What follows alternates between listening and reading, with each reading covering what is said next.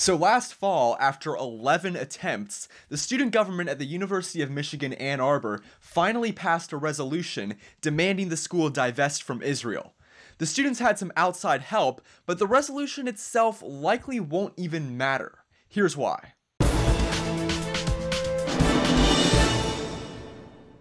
At the University of Michigan, the pro-Palestinian group isn't called Students for Justice in Palestine, but don't worry, it uses words that are equally as benign and benevolent sounding.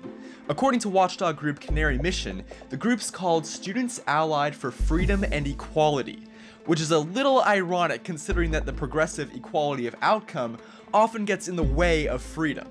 And aside from speaking out for the school to stop doing business with companies like HP and Boeing that support Israel themselves, the, this group also brought in outside anti-Israel professionals.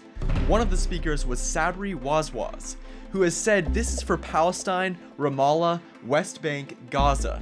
It's about time you globalize the intifada, referring to the Palestinian uprisings that cost thousands of Israeli and Palestinian lives.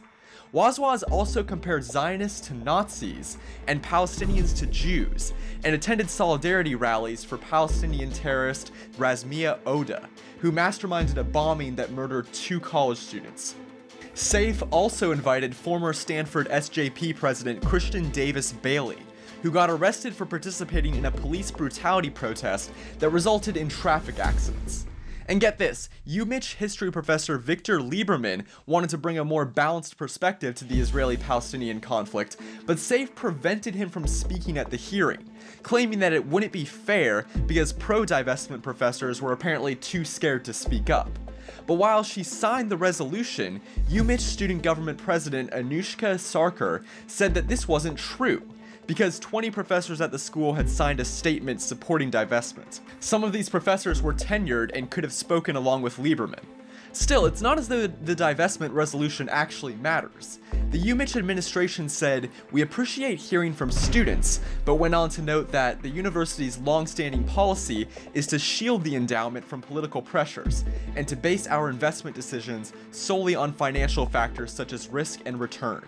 UM's Board of Regents was even more blatant, saying it strongly opposed the BDS movement.